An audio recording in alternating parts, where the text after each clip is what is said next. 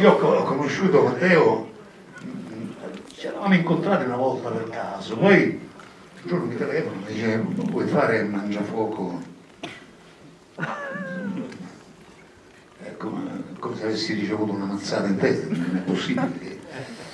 Poi dentro Pinocchio. E venne a casa mia e mi portò una mia fotografia la mia fotografia con Roberto vero o no?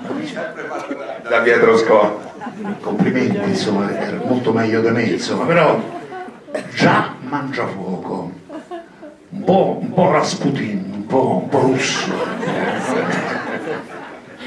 E io rimasi incantato da, da, da, da questa ipotesi.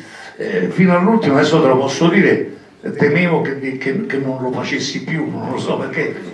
Anche se è brevissimo, io sono veramente orgoglioso di starci in questo film, posso dire io c'ero perché poi l'ho visto il film, non l'ho visto adesso, l'ho visto dieci giorni fa. E, cioè, quello che ha detto Benigni eh, non si può eh, che essere d'accordo, poi sei scordato che te e San Giuseppe siete due falegnami, tutte e due, insomma. Il mio lavoro è stato quello di adeguarmi al trucco, non so come dire.